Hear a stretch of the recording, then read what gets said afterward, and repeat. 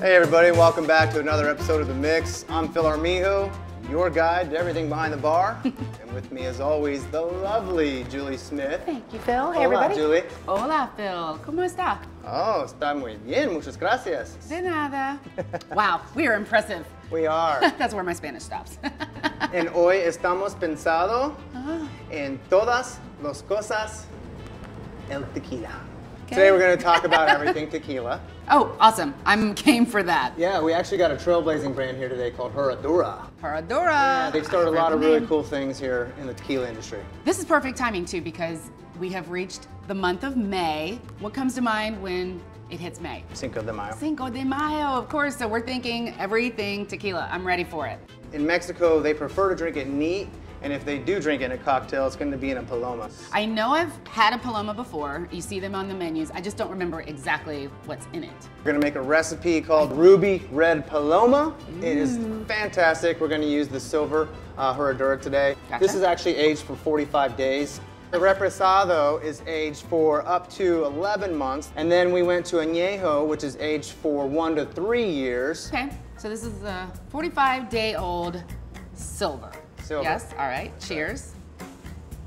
And also, we prefer to make a lot of our drinks with the silver just because it hmm. leaves more room for flavors from the, the mixers. It has a nice clean finish on it. It does. doesn't hit you too hard Well, that's the, front. first, exactly, that's the first thing I thought was, oh wow, because I was bracing myself a little bit, but that went down really smoothly because, you know, my the most of my tequila experience makes me think of college days when I oh. don't know what I was drinking. It involved licking your hand and salt. Uh, This was nothing like that.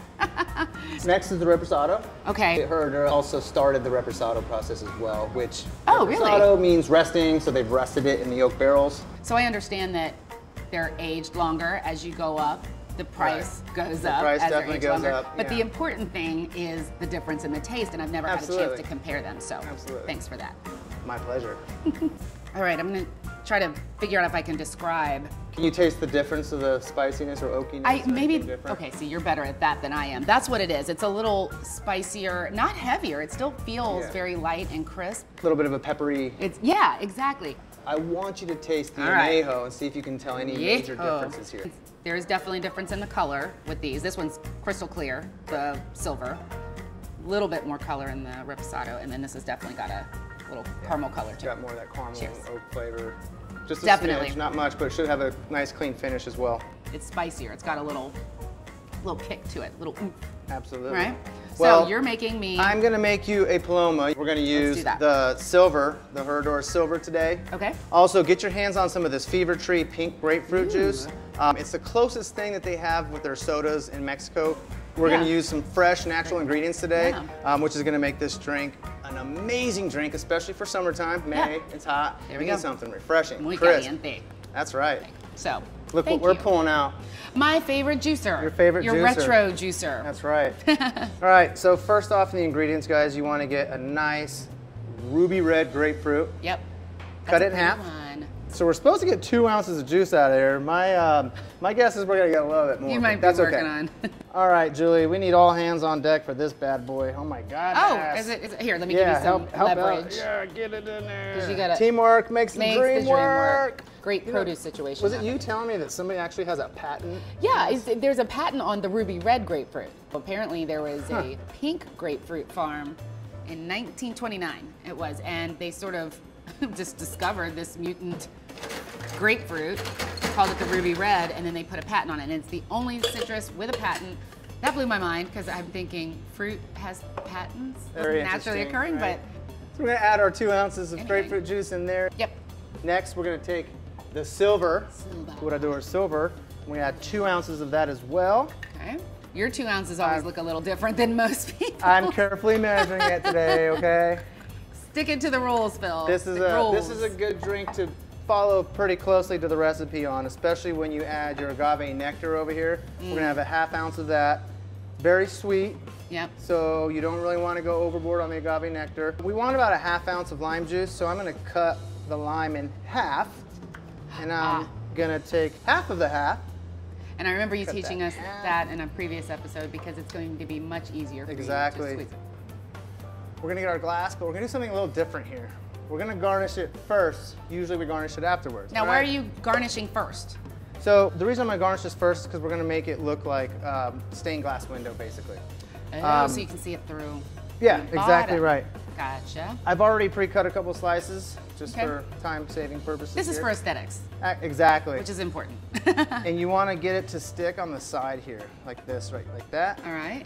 And then you want to add the ice into it. Now, now the ice holds that there for your presentational purposes. That's still that's still easy enough for Something us to do simple at home. and, and easy to do. Yeah. Yet it looks really cool. It makes you right? look like you've been doing this It for a while. you totally know look what you're that. doing. Exactly. so now I'm gonna add just a tiny bit more ice to my shaker. You want to shake it until it gets really frosty. So you gotta Yep. shake it really good. This is why you got those big guns. Right. You got shaker guns. Shaker guns. It's like the old Shake, school shake, shake, weight. mama. Remember that? That's right. Oh, the shake weight. The shake weight, yeah.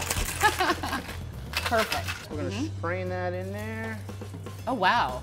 Then we want to top it off with our Fever Tree sparkling pink grapefruit. Look at that. That is beautiful, isn't it? Look and at those also, bubbles. that's why we use this tall skinny glass so you can see those bubbles. Such a pretty cocktail. Now I'm going to And another garnish, it with this. Perfect. Give that a smell. Okay. I totally thought that was mint. What is that? It's not meant to be. Is this? That's basil. That's basil. oh my gosh. And then I know you, you're gonna be sitting in your bathing suit beside the pool, sipping on these all summer Oh yeah. long. So I'm Chill you- mode. Thank you. And thank once you. again, my favorite part of the show, watching Yeah. Julie enjoy. Yours and mine both. Okay, here we go.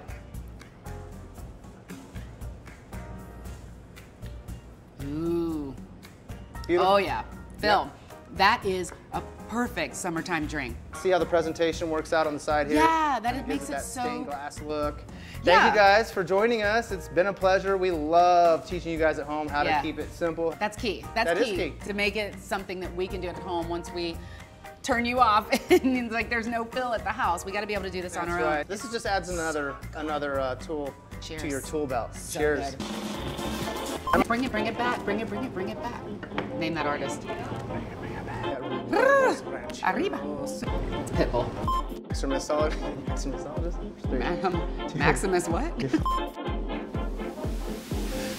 You ready? Let's do this.